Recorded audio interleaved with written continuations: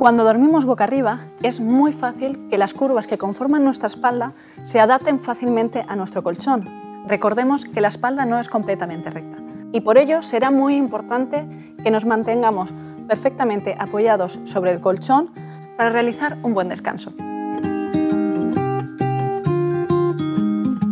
Un truco para asegurarnos de que nuestro descanso será adecuado es intentar introducir nuestra mano entre las lumbares y el colchón. En un colchón adaptable no podremos realizarlo, pues no habrá espacio.